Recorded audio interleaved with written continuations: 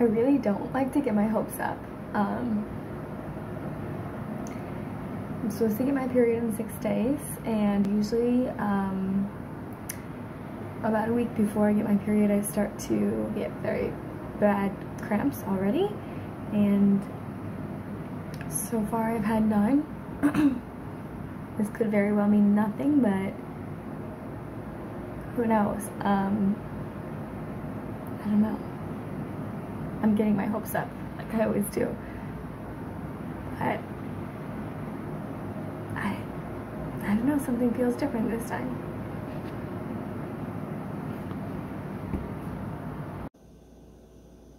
It is September 22nd, four days before I'm supposed to get my period, and I think 12 or 13 days after my ovulation, I'm sorry, 10 or 11 days after my ovulation tested positive, and today I'm experiencing cramps, so likely I'm not pregnant and that totally stinks because yeah every month I tell myself like I'm not gonna have any expectations. I'm not going to think that I'm pregnant. And yet every month I tell myself that I am and I get my hopes up and then I feel disappointment when I realize that I'm not pregnant and I think that will continue to happen because I'll always be hopeful. No matter how many months I try for, I think I'll always be hopeful that this is the month. And it's hard. It's hard to go through this every month. I have like this high, these high expectations and then like have it ripped away. But I know that at the end of the day, God has a plan and whether it takes another year, two years, whether it never happens for us, I mean, that would hurt a lot, but God knows what He's doing. And I can't have any type of resentment or any type of I don't know, anger or bitterness towards him because he's using me in so many ways and I can't be anything but thankful no matter how much it hurts. But anyway, once I do get my period, which will probably be in a few days, um, I will contact my infertility doctor and we will set up a day to go in and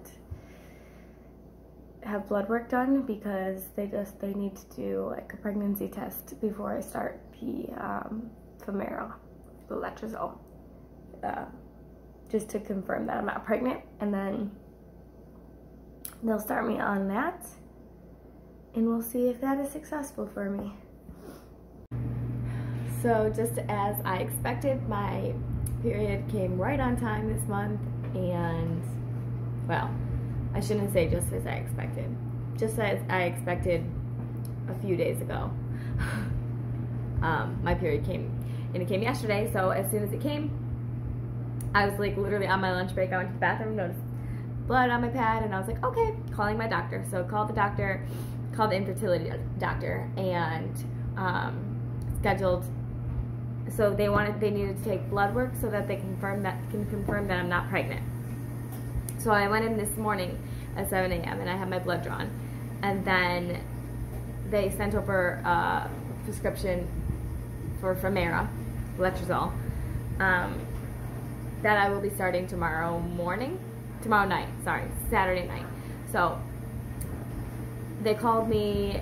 Um, probably around like 3 o'clock today, they called me and they left me a voicemail and basically it's just like oh we just wanted to let you know that your um, your test results did come back negative so you can go ahead and start that letrozole tomorrow I'm like no kidding like obviously it came back negative I'm clearly not pregnant But okay, I get it. They want to do it justice and make sure, you know, 100% sure, certain that you're not pregnant. But I obviously I could have told you I wasn't pregnant. um, but I'm taking the letrozole starting tomorrow, and they I have to research this.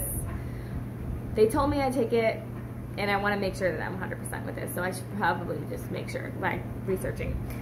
I should take it um, five. Really? Cat butt. Five days in a row, um, every night at the same time, and I take two capsules and then uh, in a week from today, which is Friday, I am going back for an ultrasound and they will be able to determine at that point like the effect that the letrozole is having on me and then we'll go from there.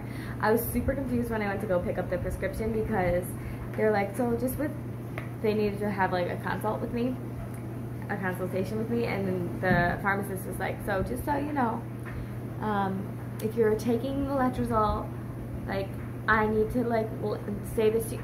Can you not? Oh, this is my only child. Actually, I have another cat. this is the child that I have for right now. Um, no, uh, what was I saying? So the pharmacist, she's like, yeah, so, um, you know, just because you're, you're of, of that age, I just wanted to make sure that you know, um, you're not planning on um, becoming pregnant or um, that you're not um, already pregnant if you're taking this because it is a category X drug. And I just like looked at her. I was like, um, she's like, the letrozole. I was like, yeah. Um, my infertility doctor like prescribed this for me. Like, She's like, oh, oh. She's like, yeah, you're you're planning on using it to become pregnant then. I was like, yes. She's like, okay, yes. Yeah, so just, you know, you use it to help you become pregnant, but then you don't use it once you find out if you're pregnant. Like, yeah, I know, I know. I was so confused. I'm like, this is like, I mean, it's not a drug that was originally intended for infertility, but it's a drug that's used for infertility. So when she said that to me, I was like, like, this is, okay. But anyway, I'm hopeful that this will work out, and um, but I'm also not trying to be too hopeful because I don't want to disappoint myself like I always do. All right, I just had to vent. Um, just quick, quick little venting session here.